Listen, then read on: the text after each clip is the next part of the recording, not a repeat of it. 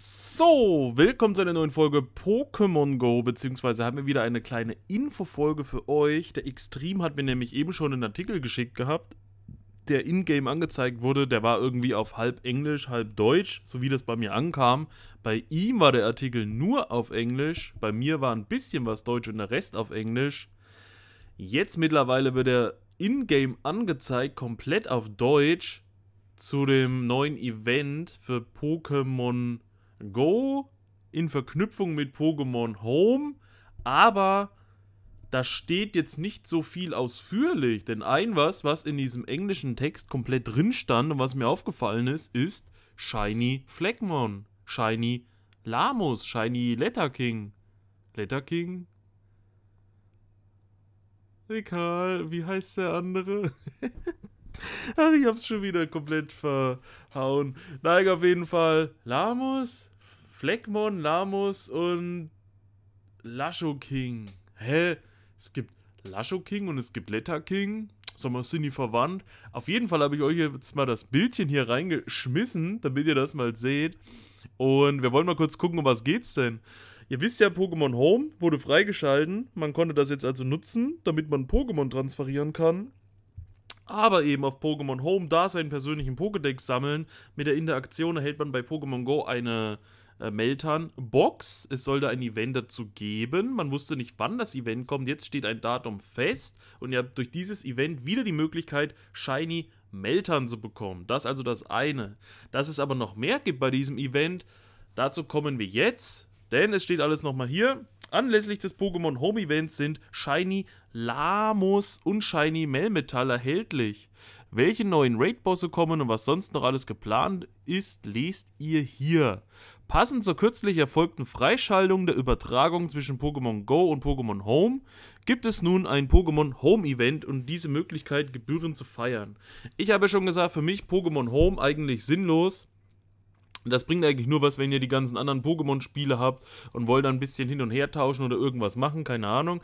Ich habe nur Pokémon Go und da man von Home nicht auf Go zurücktauschen kann, bringt mir das alles nichts. Außer ihr würdet euch eine Meltan-Box holen wollen.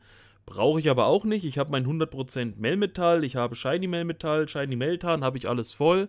Für Leute ohne Switch, ich habe auch keine. Ich habe die damals bekommen, die Meltan-Boxen immer. Grüße gehen raus an Marco. Und ja, letztens war der Falco auch da, hat mir auch noch eine äh, dagelassen, eine Meltan-Box. Auf jeden Fall bringt mir das jetzt nichts mehr. Euch, die noch keinen Meltan haben, ihr freut euch natürlich. Oder die, die damals das Shiny verpasst haben, ist das auch eine gute Gelegenheit. Jetzt aber die Frage, wie das ist mit dem Fleckmon. Muss man dafür mit Pokémon Home interagieren oder nicht? Oder ist das einfach nur nebenbei? Dann würde ich natürlich mich auf die Fleckmon-Suche machen.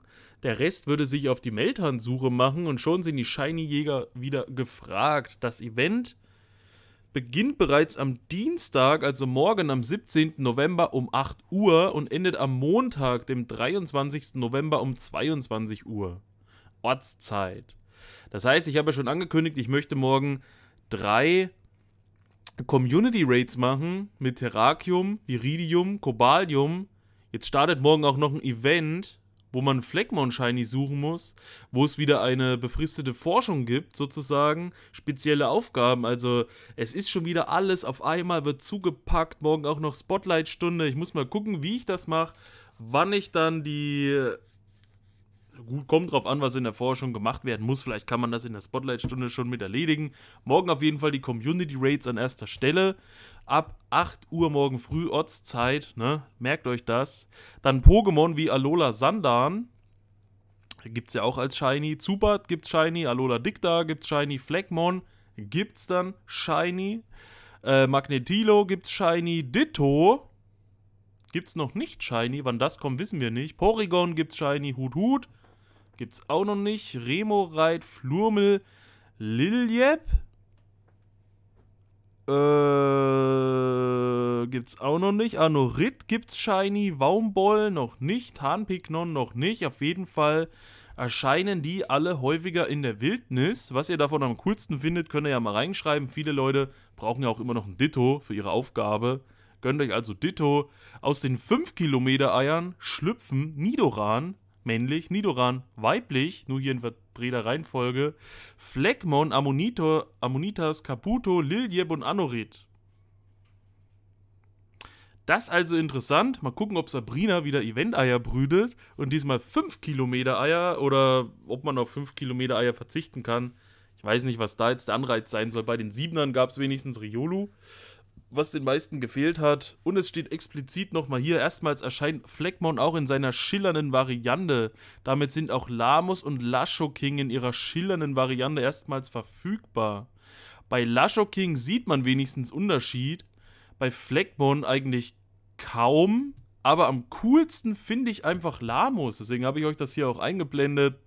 Es gibt eine befristete Forschungsaufgabe anlässlich des Events, bei der man unter anderem Mega-Taubos-Energie und Begegnungen mit Fleckmon und Kaumalat erhalten kann.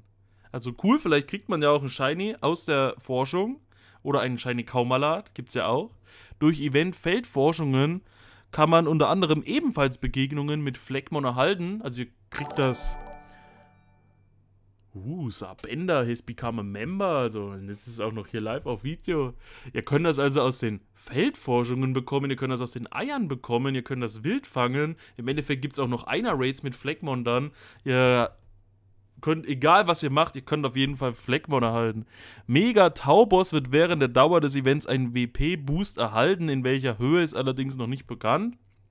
Wer noch keins entwickelt hat, kann das dann machen. Während des Eventzeitraums hat man wieder die Chance, mit etwas Glück einem schillernden Meltan zu begegnen, wenn man eine Wunderbox aktiviert. Da ist der Unterschied auch nicht so groß. Aber Meltan hatte eigentlich eine recht gute Shiny-Quote, Shiny-Rate, sage ich mal. Äh, ich hatte es, glaube ich, nicht einmal erlebt, wenn ich eine Box geöffnet habe, dass kein Shiny dabei war. Manche haben sogar aus einer Box zwei, drei Shinies rausgezogen, deswegen nutzt das auch. Vom Montag 22 Uhr bis Dienstag die Woche drauf um 22 Uhr erscheinen Cobalium, Terrakium, Viridium. Das wissen wir ja. Also morgen früh ab 6 Uhr könnt ihr raiden, ab 8 Uhr könnt ihr Fleckmon jagen. Außerdem spezielle Avatar-Items wie Melmetall Jacke, Weste, Schuhe und die Giga-Eich Brille im Shop. Da bin ich mal gespannt. Die meisten Leute kleiden sich ja sowieso immer um, wenn was Neues rauskommt. Wir sehen uns morgen bei den ähm, Community Raids. Braucht ihr noch Shiny Meltan? Schreibt es mal in die Kommentare. Freut ihr euch auf Shiny Fleckmon? Was findet ihr cooler, Meltan oder Fleckmon? Schreibt mal alles rein, hin und her. Seid ihr gespannt? Habt ihr schon irgendwas auf Pokémon Home getradet? Nutzt ihr das? Nutzt ihr das nicht? Was sagt ihr zu dem Event? Lasst mal alles da. Narrat gleich. In einer Stunde geht's schon los. In einer Stunde dann noch der Livestream, die Level 40 Account-Verlosung. Das war's von meiner Seite aus. Wir sehen uns beim nächsten Mal. Bis dahin. Peace out. Vorhaut, euer Ramses.